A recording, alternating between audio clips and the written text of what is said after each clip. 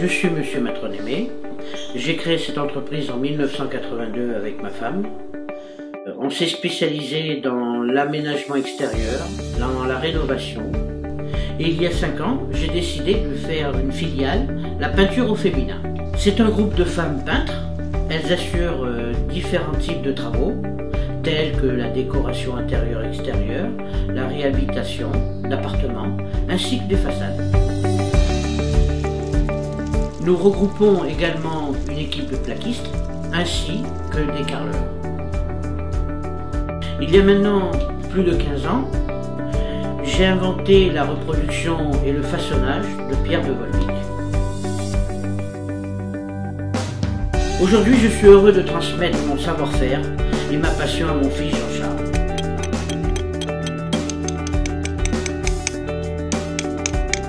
J'ai voulu rentrer dans l'entreprise euh, Matron parce que depuis tout jeune, euh, j'ai toujours travaillé avec mon père.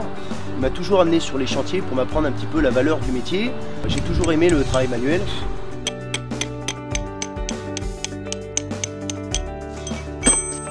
Alors il faut savoir que pendant des années, euh, dû à mon travail et, aux, travaux que j'avais réalisés, la confiance que mon père a eue envers moi vis-à-vis de son entreprise a fait qu'à un moment ou à un autre, il a eu la possibilité de me léguer une partie de son savoir-faire, ce qui m'a permis moi d'avoir euh, des idées et en collaboration avec ma sœur d'Audrey de créer euh, la société Illusion Pierre.